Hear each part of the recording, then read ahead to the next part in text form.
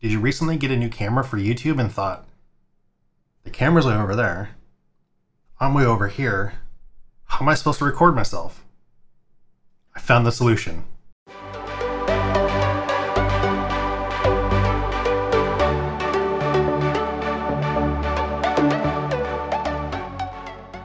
Hey everybody, it's Havok. Welcome to another video. On my stream recently, we talked about me purchasing the Canon M200 that my plan is to use for not only the stream, but also to record some YouTube videos. Now, when I have it set up to record YouTube videos, I wanted the ability to where I can just click a button, it would start recording, I click a button, it would stop recording.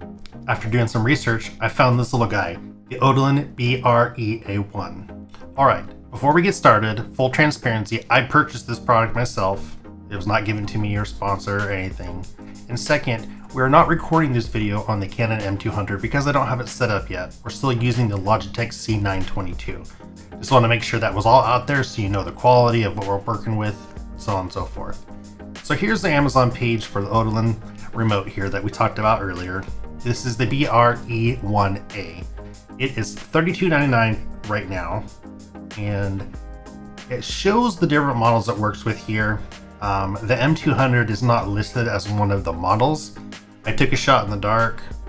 It works. Now there are a couple things that do not work, or at least I haven't figured out how to make them work with the Canon M200, and we'll get to those in a little bit. But one of the main reasons I bought this was I plan on getting like a Canon M50 or Canon M50 Mark II or a better camera in the future, and I wanted to have something that would work with those. So when I found this, I thought I'd give it a try. Again, it's $32.99 right now on Amazon. You can click the link down in the description, it'll take you right to it. You can also go over and they have an actual Canon version of this that is $42.95 right now. Does the exact same thing. Looks almost exactly the same. The buttons got the same layout.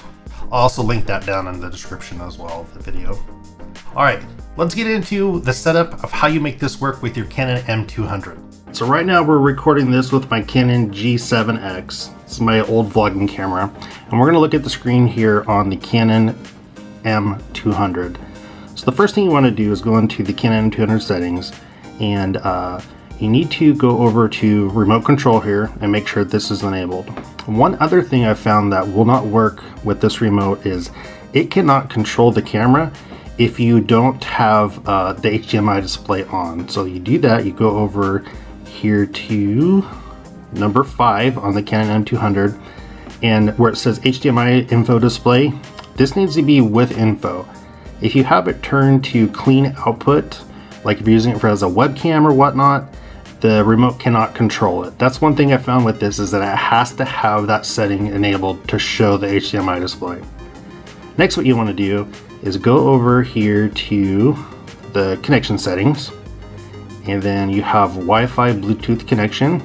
We're going to go down here to the remote, uh, connect to wireless remote. We'll go into that, and then it's going to say add a device to connect to. We'll go ahead and do that. So now that it is in the pairing mode, what you want to do is bring the remote over near, and you want these two middle buttons here. You hold both of those down. You'll see the light will flash. Once it flashes, hit that middle button, and then you should see it paired. There we go. We're now paired with the remote. One thing I wanted to mention, if your pairing fails, you need to come over here on the side of the remote. You have three settings. The top setting is what you set it to when you want to take pictures. The bottom setting is what you slide it down to when you want to control video recording. And the middle one, or two, that's the one you use for pairing. So you want to make sure the slider is in the middle to the number two when you go to pair it with the camera. Alright, now that they're paired, I'm going to show you a test here. So we have the remote. I'm to press the remote, the button remote, and you can see the camera is now recording. I'm to press it again, stops recording. Perfect. Also, if the autofocus is out of place, you can hit the AF button right here, and you can see the camera's autofocus goes in. What does not work with this remote is the zoom in and zoom out buttons for actually zooming in and zooming out the lens on the camera. Now we have it switched over to camera mode or photo mode and I'm going to hit the button.